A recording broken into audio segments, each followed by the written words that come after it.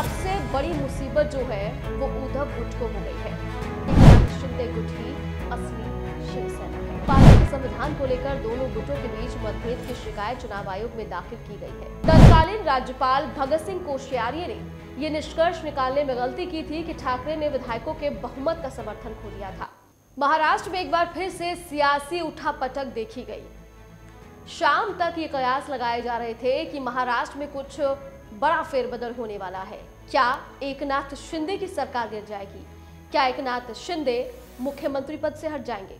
ऐसे बहुत सारे सवाल आज सुबह से उठ रहे थे, लेकिन शाम को जब स्पीकर ने अपना फैसला सुनाया, उसके बाद सारे कयास जो हैं, वो धरे के धरे रह गए। और लेकिन सबसे बड़ी मुसीबत जो है, वो उद्धव गुट को हो गई है। उद्धव गुट को बड़ा झटका लगा है। दरअसल शिवसेना विधायकों की आयोग्यता को लेकर विधानसभा अध्यक्ष राहुल नार्वेकर ने अपना फैसला आखिरकार सुनाया। राहुल नार्वेकर ने उद्धव गुट को बड़ा झटका दिया। दरअसल फैसला उन्होंने शिंदे गुट के पक्ष में दे दिया है। उद्धव गुट की मांग को स्पीकर ने सिरे से खारिज कर दिया। विधानसभा अध्यक्ष ने अपने फैसले में बताया कि एकनाथ शिंदे गुट ही असली शिवसेना है।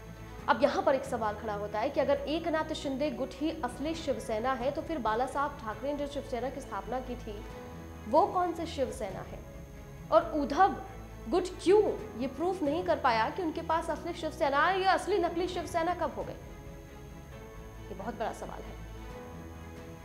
राहुल नागकर ने फैसला पढ़ते हुए कहा है कि शिवसेना का उन्नीस सौ निन्यानवे का संविधान ही मान्य है। इलेक्शन कमीशन रिकॉर्ड में सीएम शिंदे गुट असली पार्टी है। उन्होंने कहा कि मैंने इलेक्शन कमीशन के फैसले को ध्यान में रखा है, मैं इसी के रिकॉर्ड से बाहर नहीं जा सकता। उद्धव गुट दलील में दम नहीं है। शिवसेना अध्यक्ष को शक्ति नहीं है, शिंदे को नेता पद से नहीं हटा सकते थे। उद्धव ठाकरे एकनाथ शिंदे को नहीं हटा सकते थे और उद्धव ठाकरे अकेले कोई भी फैसला नहीं ले सकते थे। कार्यकारिणी की बैठक नहीं बुलाई गई, बहुमत का फैसला लागू होना चाहिए था। 2018 का फैसला संविधान के अनुसार नहीं था। आगे वो कहते हैं कि पार्टी के संविधान को लेकर दोनों गुटों के बीच मतभेद की शिकायत चुनाव आयोग में दाखिल की गई है। संविधान का आधार ये बताने के लिए लिया गया है कि असली शिवसेना कौन है। दरअसल चुनाव आयोग का फैसला पार्टी के संविधान पर आधारित है। 2018 में संविधान में जो संशोधन हुआ उसका पूरा विचार पार्टी को था।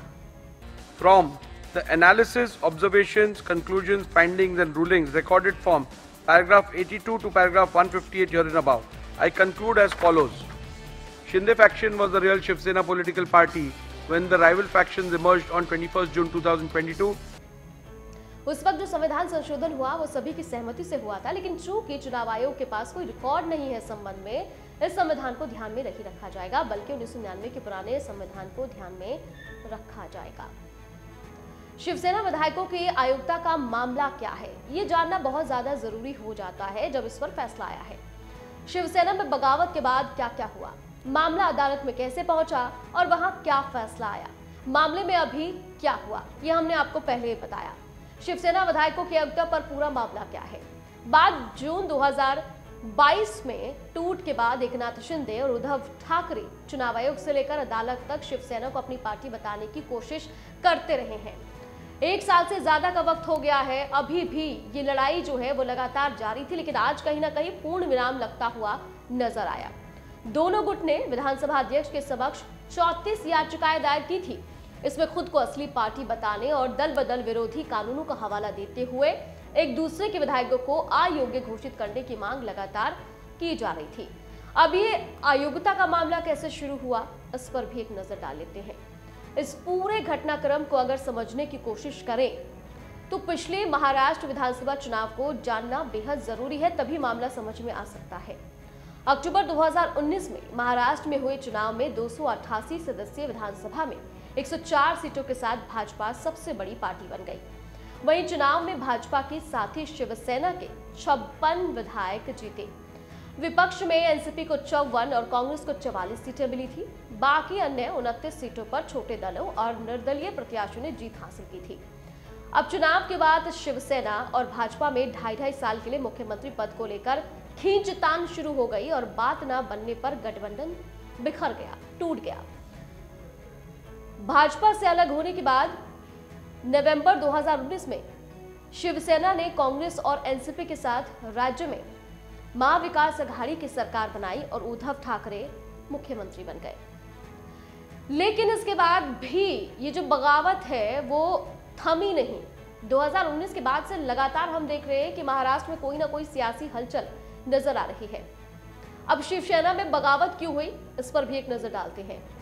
सरकार गठन के ढाई साल बाद 20 जून 2022 को शिवसेना में बगावत हो गई। एमएलसी चुनाव में शिवसेना के कई विधायकों ने भाजपा के उम्मीदवार को वोट दे दिया। एक दिन बाद, यानी इक्कीस जून को ही उद्धव ठाकरे से नाखुश चल रहे विधायक सूरत चले गए। इन विधायकों का नेतृत्व कैबिनेट मंत्री एकनाथ शिंदे कर रहे थे। यहाँ से ये सभी गुवाहाटी पहुँच गए। इसके करीब छह दिन बाद तक उद्धव शिंदे गुट को मनाने में जुटे रहे, लेकिन कुछ फ़ायदा होता हुआ धरातल पर नज़र नहीं आया। इस बीच उद्धव ठाकरे गुट की शिकायत पर डिप्टी स्पीकर ने 16 बागी विधायकों को अयोग्यता का नोटिस दे दिया। इसके खिलाफ शिंदे गुट सुप्रीम कोर्ट पहुँच गया। कोर्ट ने डिप्टी स्पीकर की कार्रवाई पर 12 जुलाई तक रोक लगा दी थी। उधर भाजपा नेता देवेंद्र फडणवीस ने राज्यपाल से मिलकर फ्लोर टेस्ट की मांग कर दी। राज्यपाल ने भी इसके लिए आदेश जारी कर दिया था। हालाँकि इससे पहले ही उद्धव ठाकरे ने इस्तीफा दे दिया था। इसे सियासी भूचाल के चलते 30 जून 2022 को उद्धव ठाकरे को मुख्यमंत्री पद से इस्तीफा देना पड़ा, जिसके बाद राज्य की कमान एकनाथ शिंदे ने संभाली और देवेंद्र फडणवीस उप मुख्यमंत्री बन गए। विवाद अभी तक सियासी था, लेकिन उसके बाद अदालत तक पहुँच गया। कैसे पहुँचा? दरअसल 4 जुलाई 2022 को महाराष्ट्र विधानसभा में फ्लोर टेस्ट हुआ। इसमें एकनाथ शिंदे ने बहुमत साबित कर दिया। शिंदे को सरकार बचाने के लिए एक सौ चौवालीस विधायकों का समर्थन चाहिए था और फ्लोर टेस्ट के दौरान एक विधायकों ने शिंदे सरकार के पक्ष में वोट किया। विपक्ष में निन्यानवे वोट पड़े और 22 विधायक गैर हाजिर रहे। इधर, इसके बाद उद्धव गुट ने चुनाव आयोग और सुप्रीम कोर्ट का रुख कर लिया। चुनाव आयोग ने 17 फरवरी 2023 को अपना फैसला सुनाया था। आयोग ने शिवसेना का नाम और चुनाव चिन्ह दोनों ही एकनाथ शिंदे गुट को दे दिया। अब आयोग ने कहा कि शिंदे गुट ही असली शिवसेना है। चुनाव आयोग ने झटका देने के बाद उद्धव ठाकरे ने सुप्रीम कोर्ट में पैरवी तेज कर दी। यानी मामला फिर सुप्रीम कोर्ट तक पहुँच गया। 17 फरवरी 2023 को पीठ ने शिवसेना के उद्धव ठाकरे और एकनाथ शिंदे गुट की याचिका पर सुनवाई की। 21 फरवरी 2023 से कोर्ट ने लगातार 9 दिन तक ये केस सुना। 16 मार्च 2023 को सभी पक्षों की दलीलें पूरी होने पर कोर्ट ने फैसला सुरक्षित रख लिया। इस फैसले में कोर्ट ने उद्धव और शिंदे गुट के साथ साथ केंद्र सरकार, चुनाव आयोग, विधानसभा अध्यक्ष और राज्यपाल का पक्ष भी सुना। 11 मई 2023 को इस मामले में कोर्ट का अहम फैसला आया। अदालत ने क्या फैसला सुनाया? शिंदे और 15 अन्य विधायकों को जून 2022 में तत्कालीन मुख्यमंत्री उद्धव ठाकरे के खिलाफ बगावत करने के लिए अयोग्य नहीं ठहराया जा सकता। ये अधिकार विधानसभा अध्यक्ष के पास तब तक रहेगा जब तक कि सुप्रीम कोर्ट की बड़ी बेंच इस पर फैसला नहीं सुना देती। फ्लोर टेस्ट को किसी पार्टी के आंतरिक विवाद को सुलझाने के लिए इस्तेमाल नहीं किया जा सकता। तत्कालीन राज्यपाल भगत सिंह कोश्यारी ने यह निष्कर्ष निकालने में गलती की थी कि ठाकरे ने विधायकों के बहुमत का समर्थन खो दिया था। कोश्यारी के पास फ्लोर टेस्ट बुलाने के लिए कोई पुख्ता आधार तो था नहीं। इस मामले में राज्यपाल के विवेक का इस्तेमाल कानून के अनुसार नहीं था। सदन के स्पीकर का शिंदे गुट की ओर से प्रस्तावित स्पीकर गोगवले को चीफ विहिप नियुक्त करना अवैध फैसला था। स्पीकर को सिर्फ़ राजनीतिक दल की ओर से नियुक्त विहिप को ही मान्यता देनी चाहिए। अभी क्या हो रहा है? 13 अक्टूबर 2023 को सुप्रीम कोर्ट ने विधानसभा अध्यक्ष नार्वेकर को 2024 महाराष्ट्र विधानसभा चुनाव से पहले शिवसेना विधायकों की आयुक्ता पर निर्णय करने का आदेश दिया। इसी आदेश का पालन करते हुए नार्वेकर बुधवार को फैसला देते हुए नज़र आए। बगावत करने वाले 16 विधायक अपने पद पर बने रहने के लिए योग्य हैं या नहीं, इस पर फैसला सुना दिया गया। विधानसभा अध्यक्ष के समक्ष दोनों पक्षों ने चौंतीस अयोग्यता याचिका दायर की थी। इसमें खुद को असली पार्टी बताने और दल बल विरोधी कानूनों का हवाला देते हुए दूसरे के विधायकों को अयोग्य घोषित करने की मांग तेज हुई। अब नार्वेकर ने तय कर दिया है कि वह राजनीतिक दल कौन सा है और वो है एकनाथ शिंदे। इसके आधार पर वो विहिप जारी करने, स्पीकर के चुनाव और शिंदे सरकार के फ्लोर टेस्ट की वैधता भी आज तय करते हुए नज़र आए। फैसले का असर क्या हो सकता था? फैसला किसी भी दल पे पक्ष में हो सकता था। फ़िलहाल तो एकनाथ शिंदे के पक्ष में ये फैसला आया, लेकिन इसका असर जो है वो दुर्गामी हो सकता था। अगर फैसला सिंधे के पक्ष में आता है तो इससे सीएम के रूप में उनकी स्थिति मज़बूत हो गई। इसके अलावा वो लोकसभा चुनाव के लिए भाजपा के साथ सीटों के बंटवारे के लिए भी अच्छी स्थिति में हो गए हैं। अगर फैसला शिंदे के खिलाफ हो जाता तो इससे महायुक्ति सरकार पर कोई असर नहीं पड़ेगा, क्योंकि उनके पास अजीत पवार के विधायकों के साथ संख्या बल भी था। एमएलसी का चुनाव लड़कर सीएम सिंधे का पद भी बरकरार रख सकते थे हालाँकि गठबंधन में उनकी भूमिका कम हो जाएगी और विधायकों के उद्धव गुट की तरफ़ जाने का खतरा भी हो सकता था। लेकिन ऐसा हुआ नहीं।